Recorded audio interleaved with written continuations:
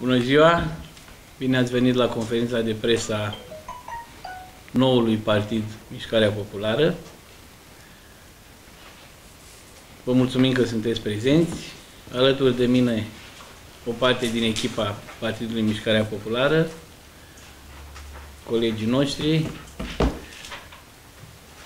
Avem o temă pentru conferința de presă și aceea deja știută, fuziunea prin absorție care a avut loc ieri, 20 iulie, când cele două congrese extraordinare ale Partidului Mișcarea Populară și ale UNPR-ului au aprobat în unanimitate protocolul privind fuziunea prin absorția celor două partide.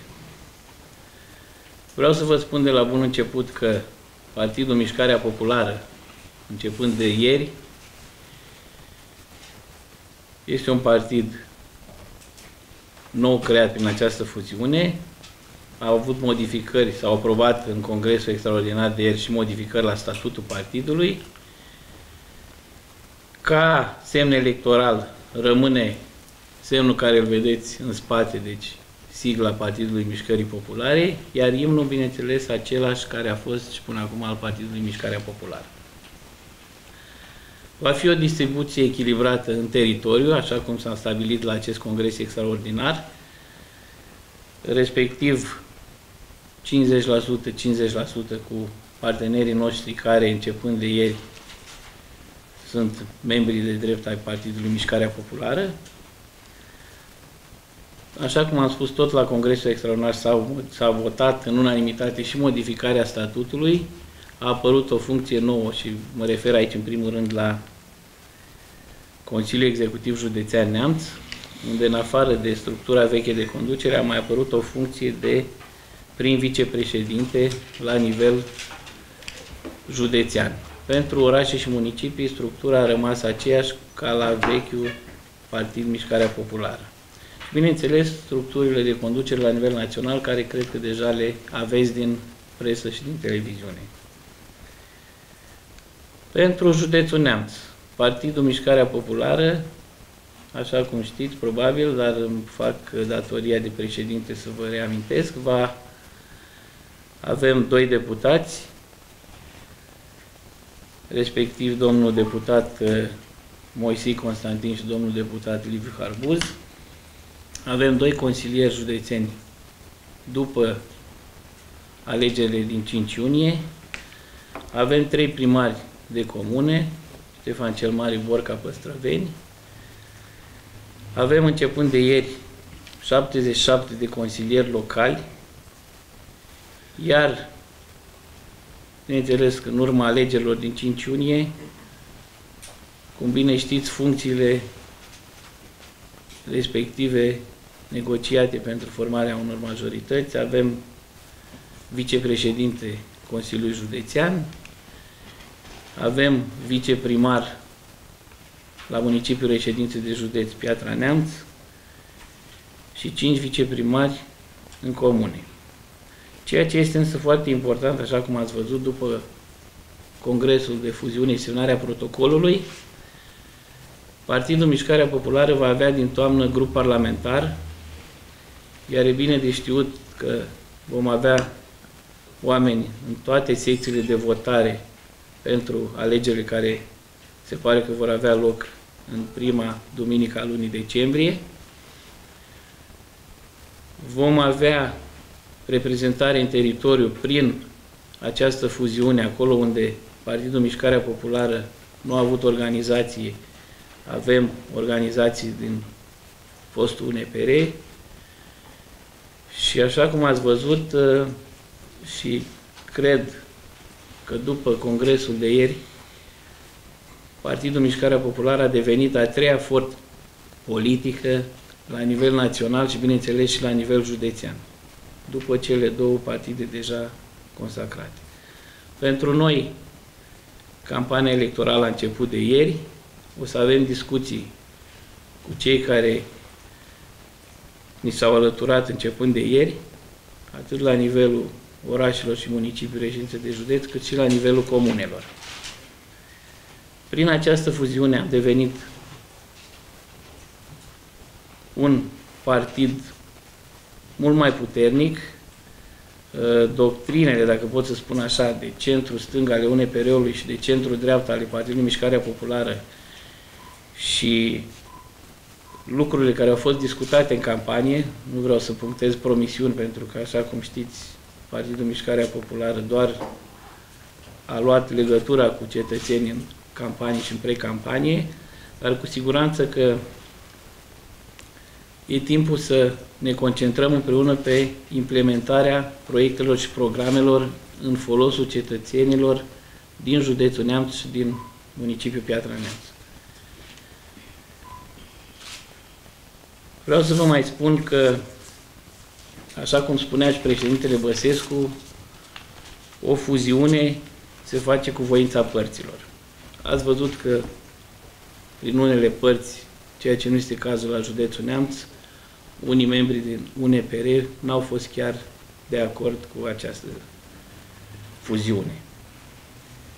Președintele Traian Băsescu a spus foarte clar, o fuziune înseamnă voința părților. Cei care merg, merg, cei care nu vor să meargă, nu merg. Ieri, în congresul extraordinar comun care l-am avut la sala, la Palatul Parlamentului, acest protocol de fuziune s-a aprobat în unanimitate. Pentru structurile din teritoriu, munca va fi împărțită în funcție de rezultatul alegerilor care a avut loc pe 5 iunie.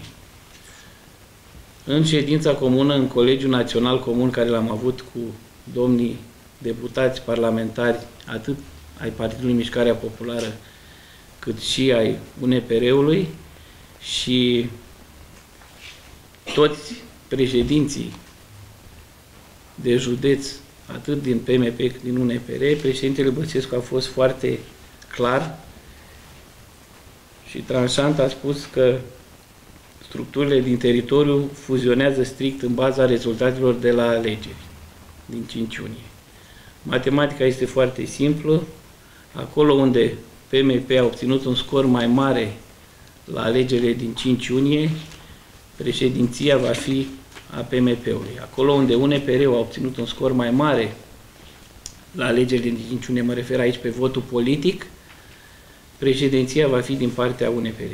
Pentru județul Neamț, cred că știți deja, dar dați-mi voie să vă repet, Partidul Mișcarea Populară a obținut 5,04 pe vot politic la nivel de județ, însemnând 10.327 de voturi, iar UNPR a obținut 2,32%, respectiv 4.867 de voturi, ceea ce înseamnă, conform protocolului de fuziune și a ceea ce s-a discutat ieri, că președinția la Piatra Neamț și la județul Neamț a Partidului Mișcarea Populară va fi din partea Partidului Mișcarea Populară. Noi cam atât am vrut să vă spunem. Repet încă o dată, acest, acest uh, protocol de fuziune nu poate decât să întărească Partidul Mișcarea Populară cu riscul de a spune din nou am devenit a treia forță politică la nivel național, suntem deja în campanie electorală, pregătim alegerile parlamentare din decembrie, cu siguranță vom avea probabil până la începutul lunii august și lista de candidați pentru Camera Deputaților și pentru Senat la viitoarele alegeri. Ca procent pot să vă spun că Partidul Mișcarea Populară acum, prin procesul de fuziune, prin absorție cu UNPR-ul, își propune un target pentru alegerile parlamentare de 15-20%. Este un target stabilit la nivel național, pe care, bineînțeles, că organizația Partidului Mișcarea Populară Neamț nu poate decât să-l respecte. Va fi mult de muncă, așa cum am spus, uh, sunt foarte multe de făcut, sunt proiecte și programe atât de centru stânga cât și de centru dreapta care trebuie realizate pentru cetățenii județului Neamț. Dacă aveți dumneavoastră întrebări. Mă interesează câteva date despre organizația de la Roma, nu mai e pe președinte, președintele deci, a dat de mic, ce se întâmplă cu el? În Consiliul Executiv Județean de săptămâna trecută, la Roman, ca și în alte părți, mă refer aici în urma rezultatelor, să nu spun chiar nesatisfăcătoare la alegerile din 5 iunie, Romanu, Roznovu, Târgu Neamțu au președinți interimari noi începând de săptămâna trecută.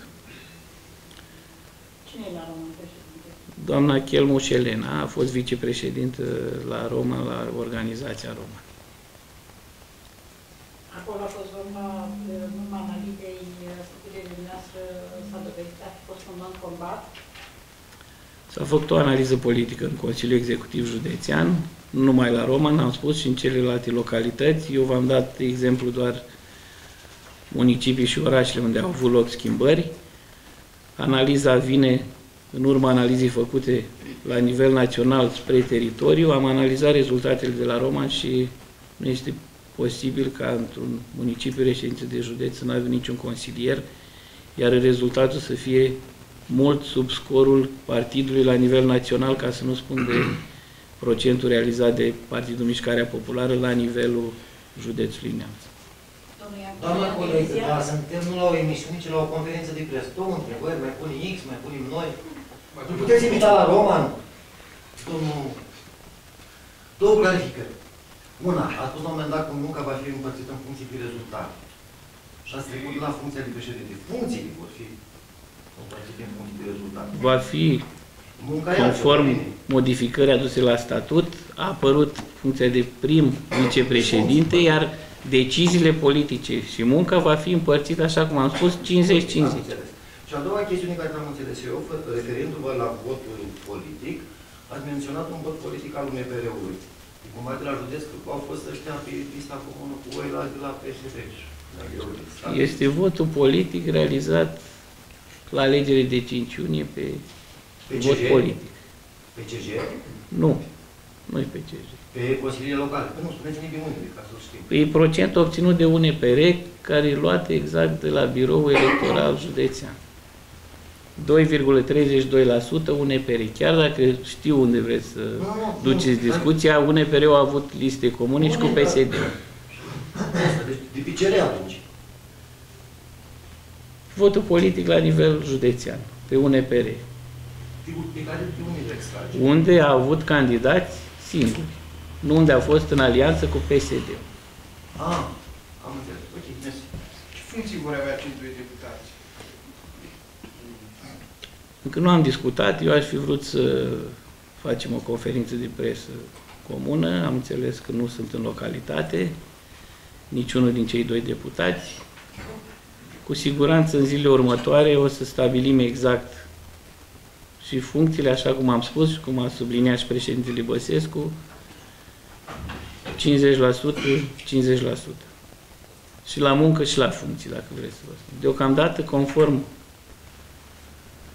protocolului semnat și a rezultatelor alegerilor din 5 iunie, v-am spus în timpul conferinței de presă ce s-a decis la nivel național și se va respecta și în teritoriu. Sunt județe unde UNPR-ul a calculat un scor mai bun ca Partidul Mișcarea Populară, sunt județe unde Partidul Mișcarea Populară își conservă rezultatul și va avea în continuare conducere, adică președintele Partidului Mișcarea Populară. Repet, asta nu înseamnă că deciziile politice și uh, strategia de campanie locală, dacă vreți să spun așa, va fi în consultare cu prim vicepreședintele. Deci deciziile se vor lua împreună. Puteți oferi, domnule deputat, Eduard funcția de prim vicepreședinte la Neamț? O să vorbesc cu dumnealui, deocamdată nu vreau să vorbesc, probabil că o să-l aveți săptămâna viitoare la Piatra și o să-l întrebați pe dumnealui. Cel mai important lucru care pot să vă spun este că vrem să continuăm munca în echipă începută de Partidul Mișcarea Populară. Acum că ne-am studat și avem membri noi, uh, nu cred că vor exista, eu știu, aspecte în contradictoriu, dacă pot să spun așa. Singurul și cel mai important moment al acestei fuziuni vor fi și trebuie să fie campania, pre-campania electorală, campania electorală și alegerile parlamentare din decembrie. Vă rog. Deci să înțeleg că cei care erau înainte la PPDD și au trecut la UNPR, acum sunt la PMP? Fuziunea s-a făcut între UNPR și PMP. Dacă erau membri pe listele UNPR-ului, automat au devenit, începând de ieri, membri ai Partidului Mișcarea Populară. Și cei care erau cu carnete de partid au trecut listele toți oamenii? Deocamdată vă spun, pentru că de-abia azi noapte am venit de la București, eh, baza de date la PMP vă pot spune oricine. Pentru baza de date la nivel de județ a UNPR-ului încă nu vă pot spune eu nimic. Și întrebarea a doua, dumneavoastră a spus că în, din punctul nostru de vedere a început campania. Din punct de vedere al legii, când începe campania? Din punct de vedere al legii, cred că în noiembrie. Vă mulțumesc. Dar o pre-campanie electorală să face și cu trei ani înainte.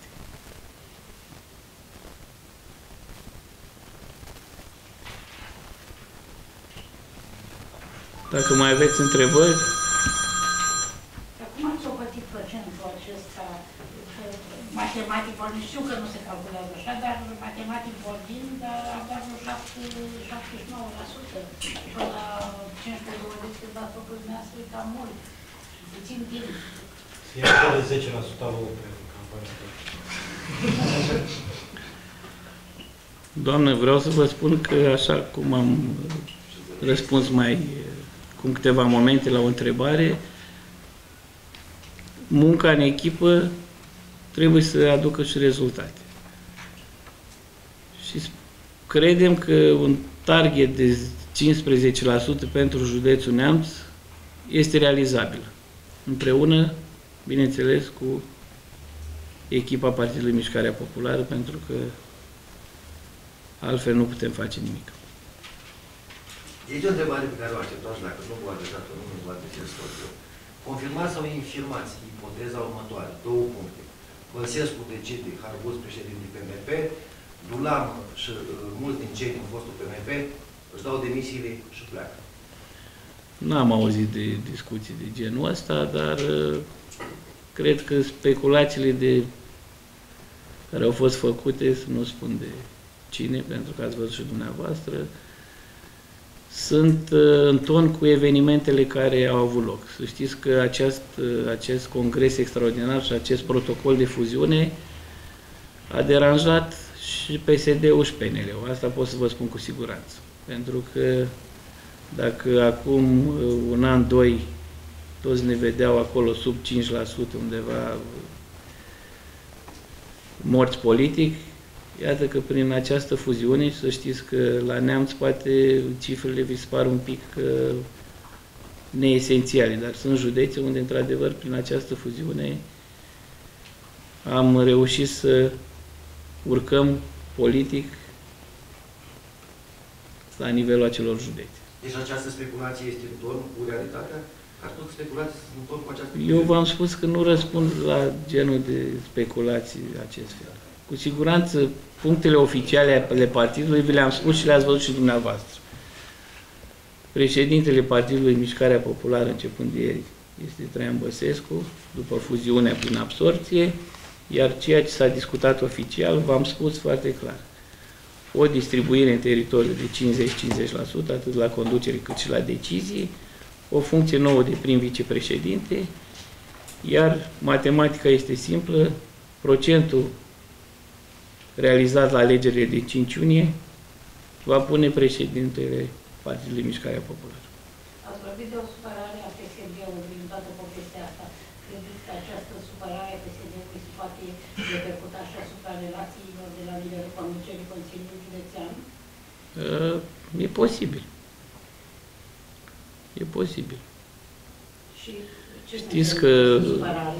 Poftiți? N-am Ce zis, înseamnă? eu n-am zis că e uh, supărare. Eu am spus că nu sunt chiar așa de încântați de această fuziune prin absorție. Și m-am referit nu neapărat la județul Neamț, ci la nivel național. Așa cum am spus, începând din toamnă avem grup parlamentar, vom fi o voce în ședințele care vor avea loc în Parlamentul României, vor fi probabil multe lor de poziții. Acum e vacanță parlamentară. O să vedem din septembrie ce o să se întâmple. Domnul Dulam, înainte de fuziune, ați avut o întâlnire cu conducerea UNPR Neamț, înainte de congres, să vă spună, în afară de trei primari, ce mai au ei pe acolo deputați, dacă au și membri? Am avut o întâlnire cu domnul deputat Moisei, dar uh, toată tematica a fost doar pe pregătirea celor două congrese extraordinare care au avut loc la București. În cursul zilei de astăzi trebuia, dar probabil de mâine, când vor veni și dumnealor în teritoriu, vom uni bazele de date și vom vedea exact cum stăm. Când puneți pe hârtie distribuția noului birou județean? Cu siguranță în, Oficial. în zilele următoare o să aveți și o... Vor fi o conferință de presă, o să o facem probabil comună, dacă nu un comunicat de presă cu siguranță. Să nu mai faci speculații. Da. Dacă nu mai sunt întrebări, noi vă mulțumim și dumneavoastră și telespectatorii care ne-au dat.